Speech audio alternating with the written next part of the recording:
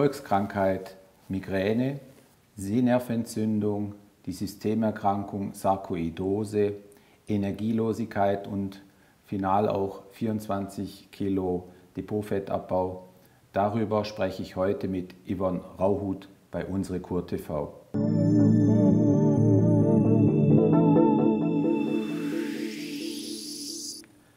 Ja, liebe Yvonne, erstmal vielen Dank, dass du nach getaner Arbeit, du arbeitest bei einer Bank, mhm. hast heute bis, bis spät, spät abends gearbeitet, bist noch zu Hause gewesen, hast jetzt gerade die Kinder noch versorgt.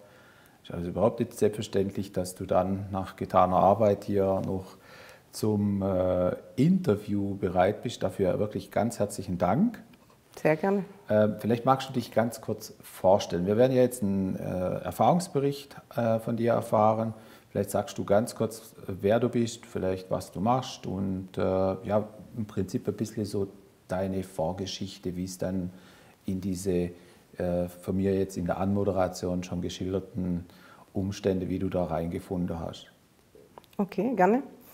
Mein Name ist Ivan Rauhut. Äh, ich bin 40 äh, Jahre verheiratet, habe zwei Kinder und ähm, ja, bin eigentlich schon seitdem ich in der Pubertät war, also seit 14, in irgendeine Richtung krank oder habe irgendwo meine Problemchen. Es hat angefangen mit Allergien, äh, Obst, also Allergien oder Nahrungsunverträglichkeiten.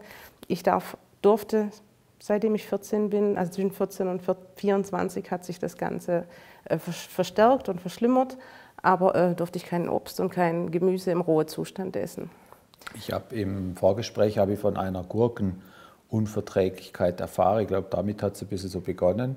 Und in genau. den Folgejahren kamen weitere Gemüse- und Obstsorten dazu. Richtig, mit der Gurke hat es angefangen. Gurkensalat ging ein, von heute auf morgen nicht mehr.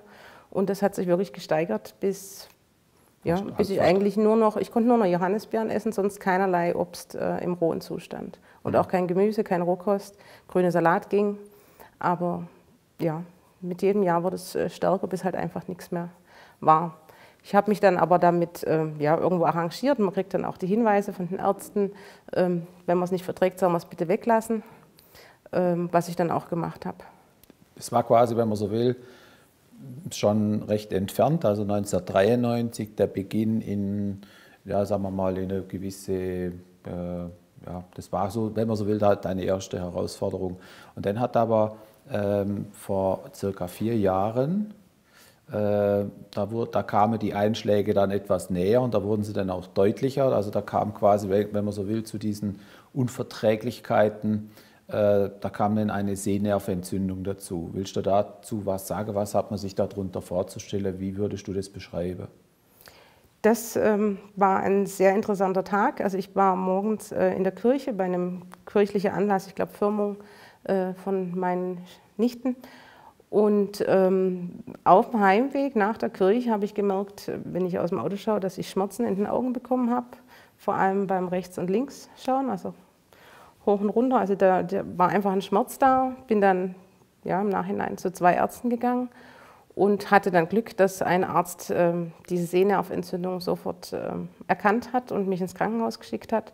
Die haben das dann bestätigt und innerhalb von einer Woche äh, ist mir auf der rechten Seite mehr oder weniger 90 Prozent vom Augenlicht äh, weggegangen und auf der anderen Seite waren es vielleicht 60, 70 Prozent. Und ähm, ich musste ins Krankenhaus, habe da eine Kortisonbehandlung bekommen, über drei Tage Infusion. Und ähm, dann kam nach und nach ähm, das Augenlicht wieder zurück. Und ich würde mal sagen, so, dass man wieder relativ normal äh, sehen kann. Das war dann, denke ich, nach vier Wochen wieder gut oder besser. Äh, und wirklich äh, weg, würde ich sagen, war es dann nach einem halben Jahr. Mhm. Komplett. Und dann habe ich notiert, gab es eine Neurosarkoidose, schweres Wort, Systemerkrankung hast du gesagt, hast du es genannt. Mhm. Was stellt man sich darunter vor? Also grundsätzlich ähm, gibt es einmal eine äh, Sarkoidose, das heißt, es ist eine Systemerkrankung, die sich auf den ganzen Körper beziehen kann. Also es gibt äh, Sarkoidose für Haut, für Nerven, für, oder in der Lunge, am Herz. Das kann eigentlich überall ähm, passieren. Und äh, das sind so kleine Granulome, die sich dann an dem entsprechenden äh, Körperteil oder an der Haut oder wie auch immer äh, festmachen und dann das Ganze irgendwo beeinträchtigen. Und äh, bei mir hat das vor mittlerweile jetzt drei Jahren, habe ich von heute auf morgen einen ganz starken Husten bekommen. Es fing Sonntagabend an, gehustet, schlussendlich sechs Wochen am Stück, wirklich nur gehustet. Und das Ganze hat sich dann ja, mehr oder weniger über zwei Jahre ähm, hingezogen, bis man herausgefunden hat, dass das wohl eine Sarkoidose ist. Und daraufhin wurde dann die Vermutung ähm, festgestellt, dass, man, dass das vermutlich diese Sehnerventzündung auch schon der erste Schub dieser Sarkoidose war. Und das nennt man dann eine Nerven- oder eine Neurosarkoidose. Ich habe ja in unserem Vorgespräch ein Versäumnis äh, praktiziert. Ich habe ja die äh, Migräne nicht, also wir haben die nicht aufgeschrieben. Dann mhm. warst du ja quasi auf dem Nachhauseweg und dann, die Migräne haben wir vergessen. Du musst mir nachher jetzt bitte in der Abfolge sagen, wann kam denn die Migräne ins Spiel? Da habe ich nämlich mhm. jetzt keine ja, Ahnung. Ja.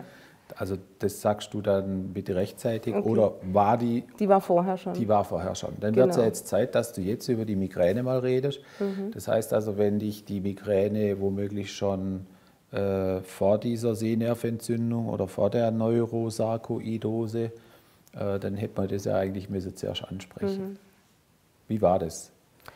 Die ähm, Migräne war vorher, ich kann aber jetzt gar nicht mehr sagen, ähm, zu welchem Zeitpunkt, aber ich würde sagen, das habe ich seit circa zehn Jahren. Circa zehn also auf jeden Fall seit zehn Jahren, vielleicht auch länger. Mhm. Und wie hat sich die, äh, wie hat sich, sagen wir mal, in welcher Form äh, hat sich die ausgedrückt? Wie, wie stark war die? Wie häufig war die? Beschreib es mhm. mal.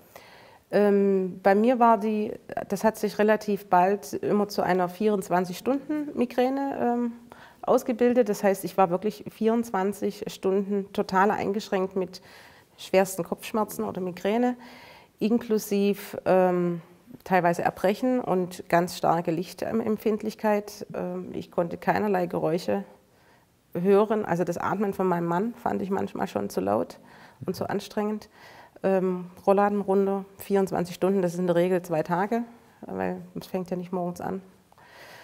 Und ähm, ja, und dann hat man meistens noch einen dritten Tag, wo man dann erstmal wieder normal werden muss, weil man sich einfach nach gefühlten zwei Tagen Migräne total kaputt fühlt. Setzt man da Schmerzmittel ein?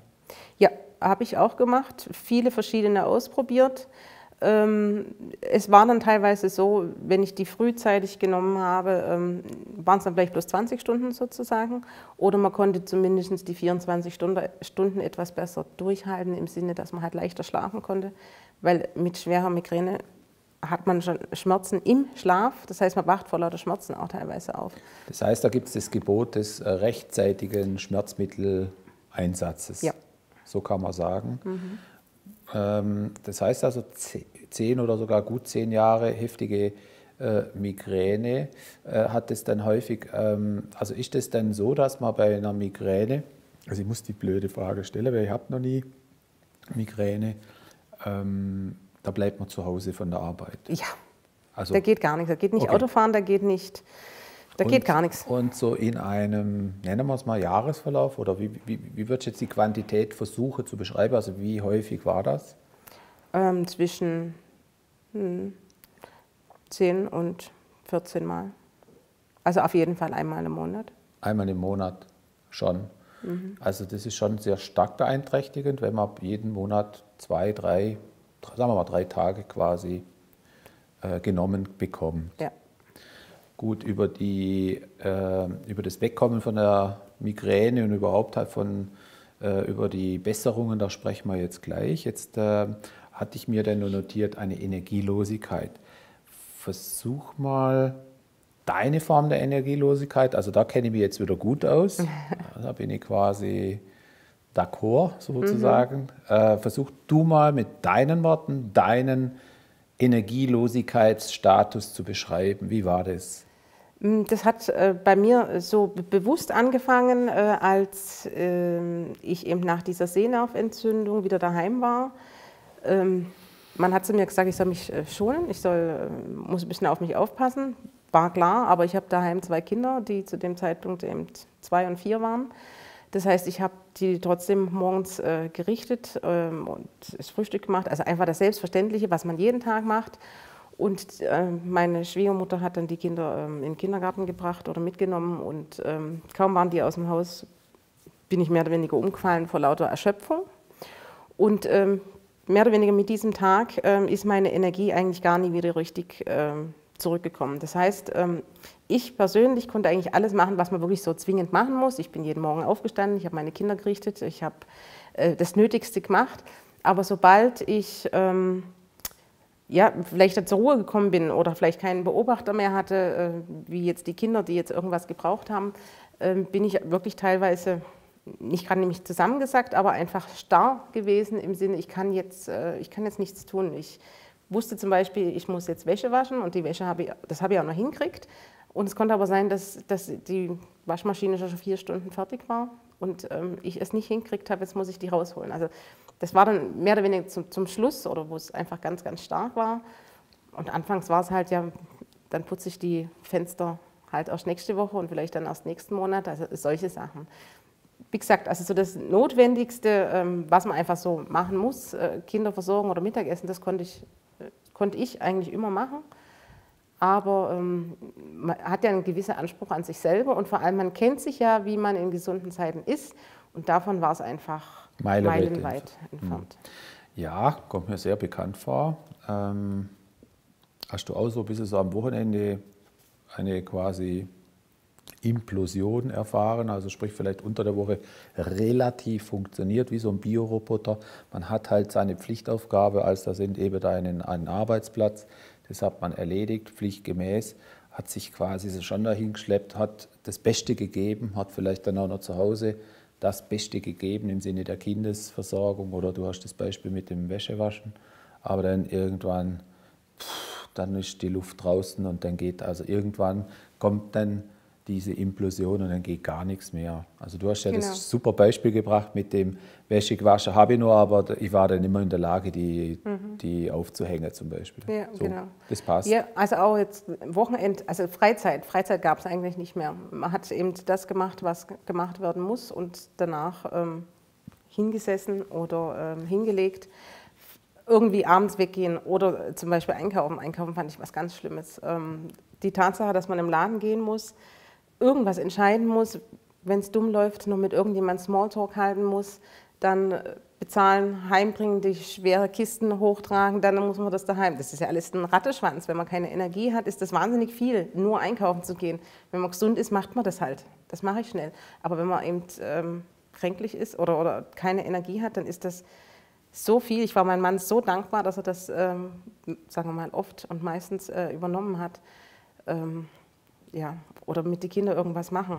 Ähm, man konnte vielleicht mal noch so eine kleine Sache machen, aber für mich war gefühlt ein halber Tag irgendwie eine Aktion machen äh, mit den Kindern. Danach war ich, musste ich eine halbe Stunde, äh, einen halben Tag aufs Sofa liegen. Mhm. Also.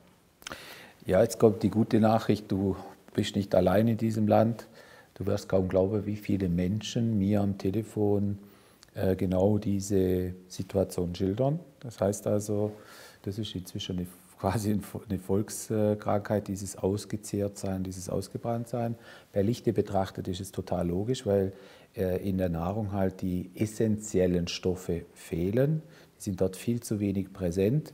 Äh, wir, ähm, also unsere, ich, sage jetzt mal, unsere Vitalstofftanks, die gehen quasi gegen, gegen Null. Und dann zeigen sich halt divers, ja, wie man jetzt an deiner Aufzählung sieht, halt diese diese, nennen wir es mal, Erkrankungen, Symptome, Störungen. Ich mag das Wort Krankheit nicht wirklich. Und dann, wie gesagt, wenn, wenn dann halt einmal das Fass voll ist, dann kommt eins zum nächsten. Das kann man aus deiner Geschichte wunderbar rauslesen. So, und dann kam die Wende. Das heißt, dann war das so, dass der Michael, dein Mann, mhm. der hatte äh, einen Tennisarm, mhm. also ein Problem am, am Arm. Äh, und begab sich dann auf Empfehlung äh, seines Chefs zu meiner Lebenspartnerin, zur Gabi. Und wir haben ja hier hausintern eine eigene, ich nenne es jetzt einfach mal biophysikalische Ergänzung zu unserer Kur, das nennt sich EPM-Kur. Ja, und der kam dann nach Hause nach dieser ersten, ich nenne es jetzt mal Sitzung und hat dann was berichtet. Und hat dann über eine fremde Frau geschwärmt. ja, so war es genau. Ähm, also er hat, ähm, also er war total begeistert. Er hat es äh, teilweise gar nicht so richtig in, in, in, Worte fassen können. Er hat mir dann seinen Arm gezeigt, wie er den wieder bewegen kann, äh, obwohl das ja seit, das war gar nicht der Grund, warum er gekommen ist. Also er hatte ja den Tennisarm auf der einen Seite, aber hatte auf der anderen Seite noch Probleme und den kann er besser ausstrecken. Und also er hat nur geschwärmt und geschwärmt und geschwärmt. Ähm, das gut und das toll und dann war ich neugierig. aber er kam dann ja nochmal zu ihr und hat dann beim zweiten Gespräch oder beim, bei der zweiten Sitzung ähm, über mich berichtet und da hat äh, dann die Gabi so gewisse Schlüsselwörter äh, genannt, wie sie kennt die Problematik und ähm, obwohl ich ja nichts mit Muskeln oder, oder Knochen hatte, ähm, das ja eigentlich eher Richtung Psyche geht, ähm, äh, ich soll vorbeikommen, das kriegen wir hin. Und sie hat ja selbst auch eine chronische Nerventzündungsvorgeschichte gehabt und das hat dich ja irgendwie, ja zumindest mal neugierig gemacht und hast gedacht, genau. Ah, okay, da gehe ich jetzt mal hin. So, und dann hast du äh, so eine erste, ich, ich nenne es jetzt mal Energiearbeitssitzung abbekommen und da gab es einen entscheidenden Moment. Ja. Also ich muss dazu sagen, ich bin wirklich äh, mit einer gewissen Skepsis gekommen. Wenn man schon seit zwei, drei Jahren äh, mehr oder weniger von Arzt zu Arzt rennt, bis diese Diagnose stand und äh, doch das eine oder andere ausprobiert hat ähm, und auch schon Hinweise kamen, das ist halt eine Depression oder wie auch immer, da kommt man natürlich nicht hierher, man hat ja auch gar nicht die Energie und sagt, jetzt, äh, das ist jetzt genau die Frau, die mir äh, hilft. Deshalb, ich bin da auf dieser Liege gelegen und habe gedacht, jetzt gucke ich mal, was die was, wohl macht. Was die wohl macht. Und ähm, diese Piekserei sozusagen ähm, ist ja auch nicht, nicht nur angenehm, so würde ich es mal ausdrücken.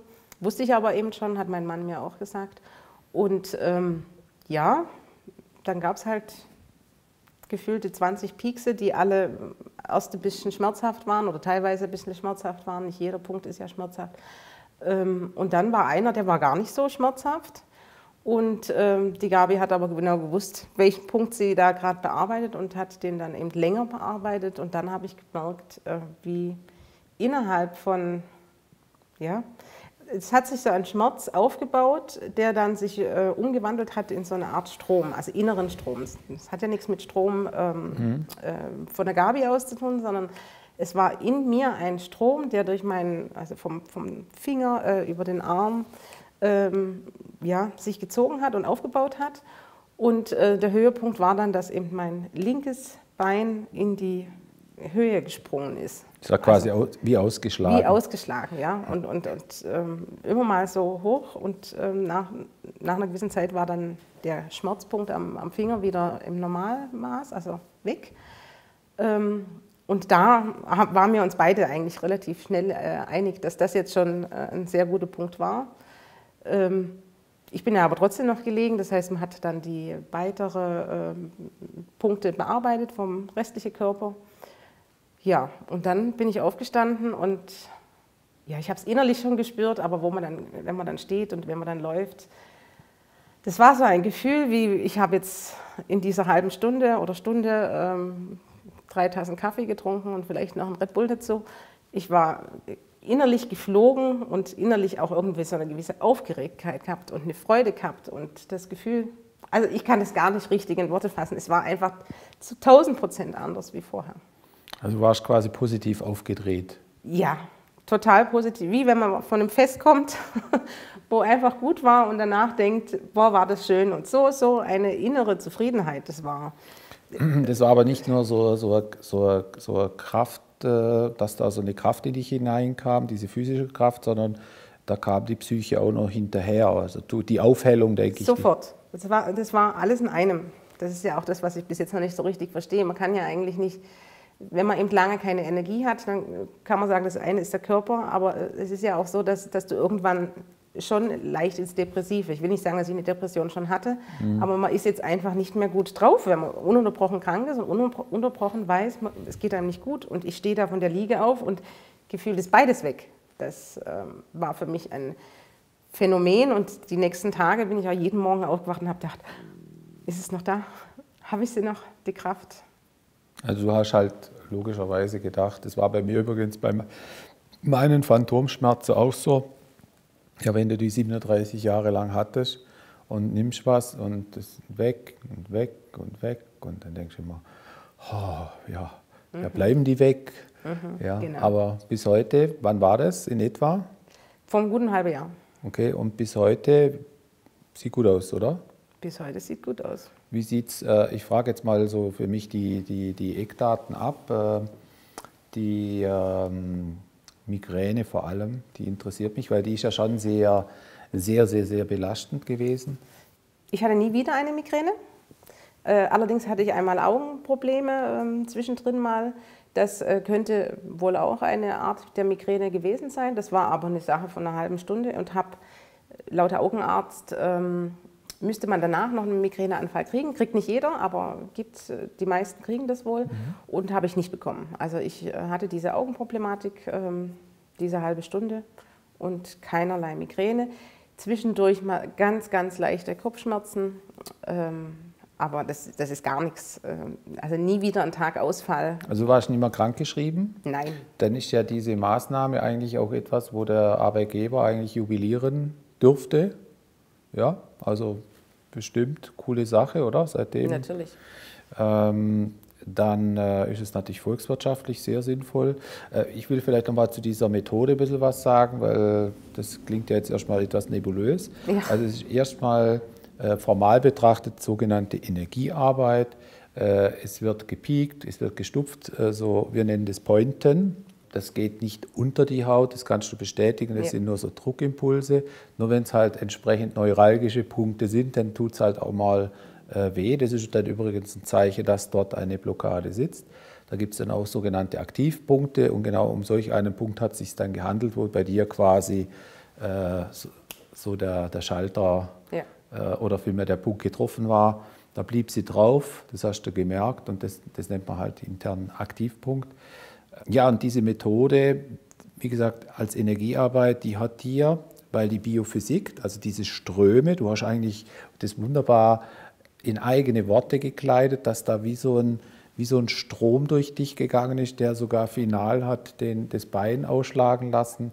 Genau um das geht Ja, es geht um die Wiederherstellung des Energieflusses, aber nicht in, in Form von Energie, was äh, biochemische mhm. Energie wäre, also Ernährungsenergie, Kalorienenergie, das meine ich nicht. Mhm. Ich meine die Elektrizität, weil der Mensch ist ein elektrisches Wesen. Wir sind wie so eine Art Schwachstromaggregat. Man kennt den Begriff der sogenannten Meridiane. Es gibt diese zwölf Hauptmeridiane, es gibt dann sogenannte Versorgungsareale und äh, so wie es ausschaut, hat die Gabi den richtigen Punkt getroffen. So, jetzt bist du ja dadurch äh, ein, ein, richtiges Energiebündel. Also ich erlebe dich jetzt ja. trotz, auch trotz äh, getaner Arbeit so richtig äh, tough. Ähm, da gab es dann am Tag nach dieser äh, nach diesem Punktsetzen, das finde ich noch eine witzige Anekdote, da war dann hier, ähm, also in unserer Region nennt man den äh, Karneval, Faschings, Fasnachtshöhepunkt, schmutziger Donnerstag. Genau. Und da gingst du dann das erste Mal wieder auf die auf Tour. Auf Tour. genau, das fängt morgens äh, bei uns an, indem man die Kinder ähm, äh, in den Kindergarten bringt, also die noch im Kindergarten sind. Und danach gab es ein Mittwochfrühstück. Und ich denke mal, äh, wäre ich am Tag vorher nicht zur Gabi gegangen, hätte ich mir schon mal ganz genau überlegt, ob ich zu diesem Frühstück gehe. Weil, nicht weil ich nicht gerne esse, das kann ich im Notfall ja auch daheim, aber es wäre ja wieder das Thema Smalltalk gewesen, überhaupt auf andere Leute zugehen. Und oh, das war einfach wahnsinnig anstrengend für mich. Und an dem Tag war ganz klar, ich habe mich morgens gerichtet, habe auch wirklich äh, mich schon entsprechend äh, geschminkt und so weiter. Also habe schon allein die Energie gehabt, das Kind gerichtet. Und dann bin ich zu diesem Frühstück und nach diesem Frühstück ähm, durfte man dann die äh, Kinder noch abholen oder sind in den Kindergarten gegangen und dann ähm, läuft da mehr oder weniger über den ganzen Tag im Dorf, ist da ähm, Halligalli, äh, inklusive Umzug. Dieser Umzug, was wird das sein? Also auf jeden Fall eine halbe Kilometer bergauf gefühlt äh, und dann läuft man das Ganze nochmal zurück. Also ich war da auf jeden Fall circa zwei Kilometer bergauf, bergab ähm, unterwegs ähm, und danach ähm, trifft man sich äh, mitten im Ort und äh, trifft gefühlte 100 Leute spricht man mit dem, spricht mit dem und das habe ich alles gemacht. Und schlussendlich würde ich sagen, war ich an diesem Tag locker zwölf Stunden, eher 15 Stunden unterwegs mit allem, was dazugehört, ähm, mit vor allem viel Spaß und ganz, ganz viel Energie. Und ja, das hätte es nicht vorher nicht gegeben. Ähm, das Auch nicht annähernd. Nicht äh, annähernd. Nicht, nicht annähernd. Und äh, das Coole ist daran, das war ein Tag danach. Es war der nächste Tag, ja. Das, das ist, echt, das ist echt krass. Also das ist wirklich ein, ja. für uns, also für mich jetzt, die ich ja, ja jetzt vieles gewohnt bin hier, aber das ist natürlich mhm. auch für mich ein, ein kleines Wunder im, im ja. positiven Sinne, was nicht heißt, dass, äh, dass das nicht äh, der Standard ist oder so, dass da äh, nicht immer was Gutes rauskommt, aber das ist natürlich jetzt ein ganz signifikant toller Fall. Ja. Da bin ich dir auch sehr dankbar, dass du bereit bist, äh, mit diesem Beispiel demonstrieren zu können, äh, was diese sogenannte Biophysik, die haben wir ja auch irgendwo äh, verewigt, da, dahinter ist die Biochemie, da unten ist die Biophysik, die ist leider vom Stuhl ein bisschen ähm, äh, verdeckt. Äh, die, die kommt noch in der Reihenfolge vor der Biochemie. Das heißt, die ist nicht wichtiger, sondern die ist halt von der Reihenfolge vor der Biochemie. Das ist beim Auto auch so. Wenn man äh, das Auto startet, dann wird erstmal elektrisch äh, ein Impuls gesetzt. Äh, man dreht den Zündschlüssel rum, so hat man es zumindest mal früher gemacht, jetzt drückt man ja nur noch. Und dann wird eben ein elektrischer Impuls gesetzt und der bringt dann erst auf chemischem Wege dann die Explosion, ich nenne es jetzt mal so die Zündung, den zündenden Funken im, im Motorraum in Gang. Also da haben wir im Prinzip dieses Wechselspiel aus Chemie, wenn es quasi im Motor verbrennt, äh, und eben der Physik, sprich der Elektrik. Mhm. So, und dann haben wir final, äh, dann hast du gedacht, ja, wenn jetzt das schon so gut äh, funktioniert hat, dann hat dir die Gabi wahrscheinlich äh, auch von der Kur erzählt. Also, wenn man so will, eigentlich von unserem Flaggschiff, unser Kern, unsere Kerndienstleistung, ähm, dann hast du jetzt auch noch diese Kur gemacht. Ähm, Du siehst jetzt aus wie das blühende Leben, muss ich echt sagen. Also für das, dass du jetzt gerade äh, von der Arbeit kommst, wie aus dem, ja, wie aus dem Bilderbuch, muss ich echt sagen. Erzähl mal, wie hat dir das jetzt noch gut getan? Also weißt du, gutes Widerfahren. Wir brauchen da jetzt gar nicht so lange drin rumrühren, weil wir haben genügend Erfahrungsberichte zum Gewicht.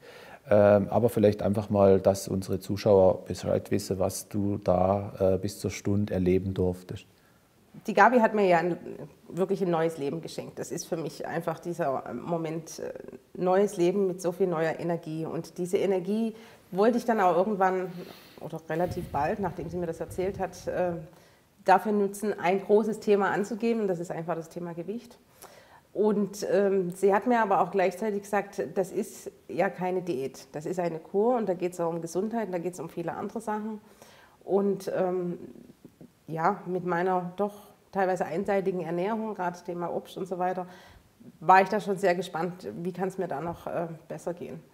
Ähm, die Kur an sich äh, lief, für mich, lief für mich wahnsinnig leicht. Also ich hatte äh, gar, also keinerlei Startschwierigkeiten und hatte ja dann, nachdem sagen wir, die ersten äh, Kilos äh, ge gepurzelt sind, mal noch ein Telefonat mit dir zum Thema äh, Allergien oder Nahrungsmittelunverträglichkeiten wo du so locker gesagt hast, das äh, verändert sich auch. Und ähm, das habe ich mir angehört und habe auch brav genickt am Telefon, aber ähm, hätte es nicht geglaubt. Und äh, heute war unter anderem so ein Tag, wo es bei uns im Geschäft es sind Apfeltage.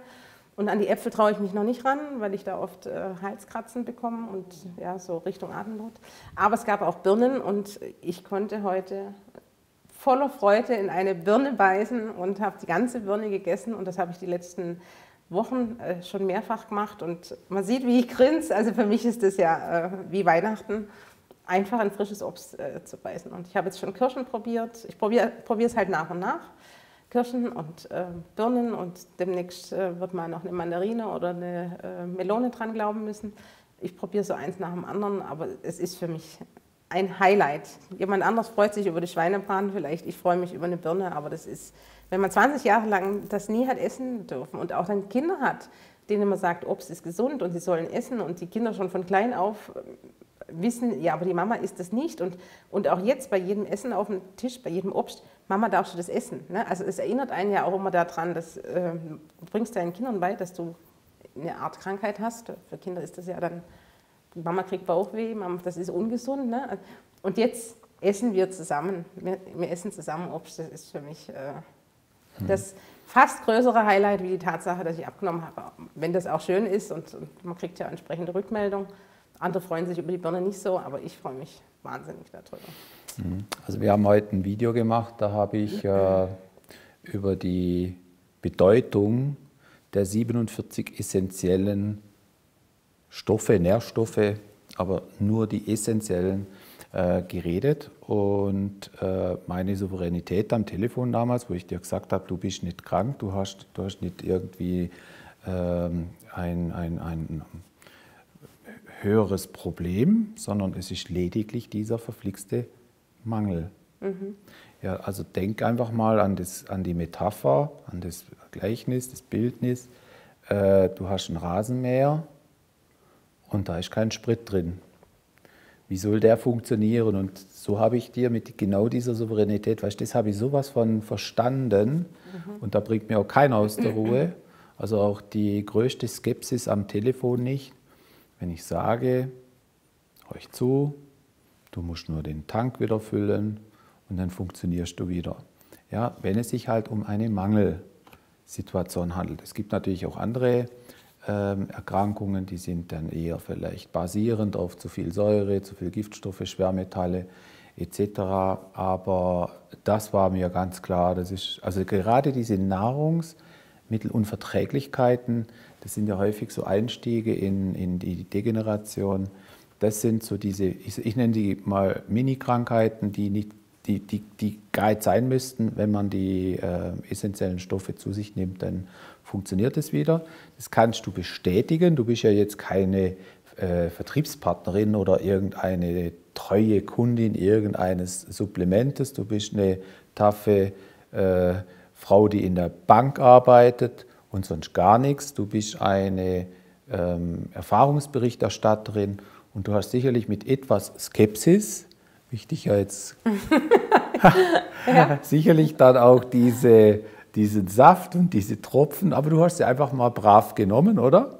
Und ja. siehe da, ja. jetzt siehst du es vielleicht, ich weiß nicht, mit einem anderen Auge, oder?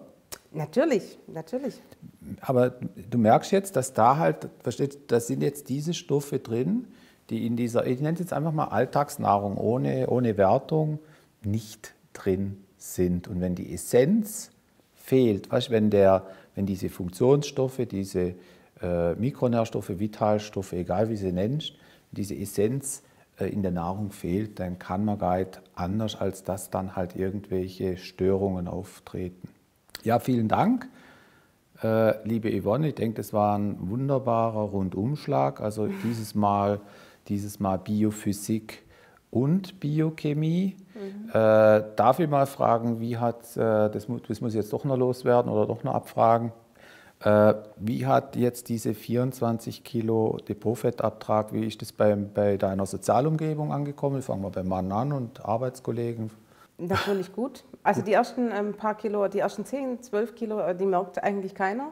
Lag vielleicht an der Tatsache, dass ich wirklich viel Gewicht hatte. Ähm, aber jetzt wirklich die die letzten zehn Kilo äh, habe ich so das Gefühl, man wird auf einmal von jedem angesprochen. Und äh, das möchte ich auch gerade erzählen. Meine Tochter hat mir äh, mit ihren sieben Jahren äh, gestern gesagt, Mama, du hast, du hast wirklich abgenommen. Und habe gesagt, ja, soll, ich, soll ich jetzt aufhören? Äh, ist es genug? Und sagt sie, ja, du, es ist genug, deine Beine schwappeln nicht mehr so. also ich habe jetzt das äh, Okay meiner Tochter. Und du kriegst quasi jetzt, schon Komplimente. Jetzt genau richtig bin, hat sie gemeint. Ja. Also auch schon Komplimente von der Tochter. Komplimente von der Tochter, aber natürlich gerade auch bei Arbeitskollegen ähm, fällt es auf. Und es ist ja nicht nur... Ähm, man ist ja das Gewicht, nur sondern auch das, äh, die, alles. Die, das, das Strahlen oder einfach, man hat eine andere Ausstrahlung, so eine andere Ausstrahlung wie vorher. Ähm, liegt aber eben liegt an dir und allem, was du mir jetzt Gutes getan hast, als auch an dem, was die Gabi mir getan hat. Äh, das war ein bewegendes Jahr. ja, das ist ein schönes Schlusswort. Also vielen Dank wirklich. Das ist nicht selbstverständlich, dass man da nach der Arbeit äh, hierher sitzt. Das ist also sehr wertvoll für uns alle. Ich denke aber auch für die Zuschauerinnen und Zuschauer. Die können da ganz viel äh, Kraft auch rausziehen. Die kriegen wieder Hoffnung. Verstehst du? Mhm. Ich meine, du warst ja schon in einer misslichen Situation und vor allem, wenn du da jetzt nicht auf diese äh, auf den richtigen Pfad übergewechselt hättest, dann darfst du äh, einfach nur mal logisch weiterdenken, dann hätte sich die Schraube halt noch weiter nach unten bewegt. Insofern besten Dank für diesen Beitrag, das war sehr wichtig. Sehr gerne. Vielen Dank also. Ja, und liebe Zuschauerinnen und Zuschauer, Sie haben es jetzt gesehen, dass also der Mensch nicht nur ein biochemisches Wesen ist. Die Biophysik kommt noch vor der Biochemie. Das ist keine Wertung, sondern nur eine Reihefolge. Ähm, ein ganz wichtiger Hinweis, äh, machen Sie sich da kundig. Das heißt, äh, wenn Sie irgendwelche äh, Beschwerden haben, sollte man das gut einschätzen. Ist das jetzt wohl eher ein biochemisches Phänomen oder eher ein biophysikalisches? In diesem Sinne bedanke ich mich sehr für Ihr Dabeisein. Ähm, abonnieren Sie unseren Kanal, empfehlen Sie unsere Arbeit weiter.